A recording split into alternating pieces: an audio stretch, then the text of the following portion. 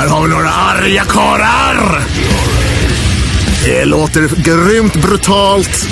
Det är dödsmetall i sitt esse. Inga konstigheter, man får det de levererar.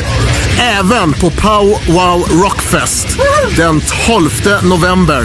Och Larrys, jag hoppas vi syns metalfuckers. Life, life.